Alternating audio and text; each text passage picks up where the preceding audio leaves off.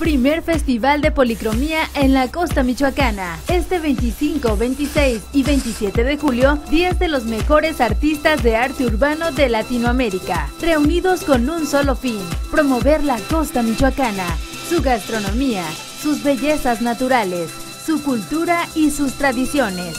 Te esperamos este 25, 26 y 27 de julio en el Bejuco, ubicado en la costa michoacana. Ven y disfruta del arte urbano y los bellos paisajes que te ofrece el Bejuco Michoacán. Evento patrocinado por nuestra visión.